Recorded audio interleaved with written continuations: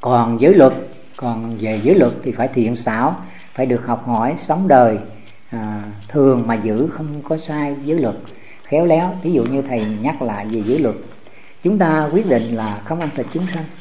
Nhưng mà trong khi chúng ta còn giao tiếp với mọi người còn làm việc chung với mọi người hoặc là còn ở uh, sống với mọi người trong những cái buổi tiệc lễ thì người ta vẫn nấu thịt chúng sanh nhưng mà chúng ta là người ăn chay chúng ta làm sao bây giờ? Chúng ta cũng không bảo người khác phải nấu đồ chay cho chúng ta. Làm như vậy bận lòng chúng ta không làm bận lòng ai cả. Chúng ta cũng lên dự tiệc đàng hoàng nhưng mà chúng ta vẫn vẫn ăn chay đàng hoàng.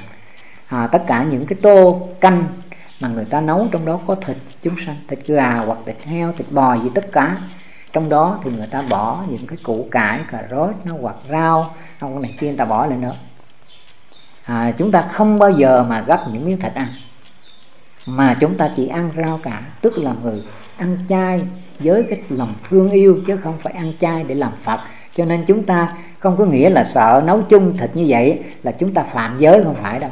Chúng ta cái cái cái trí tuệ bảo biết chúng ta tức là chúng ta sẽ ăn những cái gì mà không có sự đau khổ.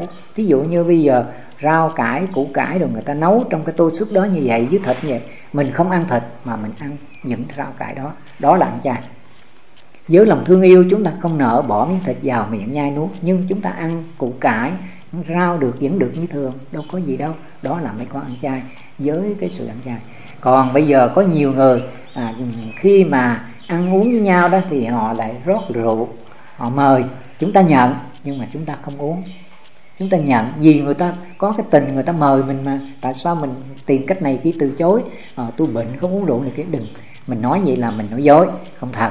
Mình nhận nhận nhưng mà ví dụ như bây giờ đây là ly rượu mình nhận cũng ly với họ đàng hoàng nhưng mà mình kê như thế này mình có cần gì phải uống nó đâu. Nhưng mà sự thật đó mình kê trong miệng vậy thì người ta cứ nghĩ uống như thế nào? Thì mình nói sự thật ra ừ, cái người đó họ hỏi sao nãy giờ ly rượu anh còn hoài vậy? Nói sự thật tôi nhận cái lầm của của anh của của của, của, của, ừ, của bác. Ừ, đối với tôi thì vì cái vấn đề mà rượu thì tôi biết rằng ừ, nó sẽ ảnh hưởng không tốt về cơ thể nó sẽ gây không tốt. Cho nên mình họ không hỏi thì mình vẫn nhận và đồng thời mình cũng chỉ kê lên miệng như thế này rồi mình để xuống không uống họ thấy ly rượu mình còn hoài, không uống chút nào hết. Họ mới hỏi, thì mình nói. Còn họ không hỏi thôi. Không hiểu. Hỏi thì mình nói thẳng, nói thật.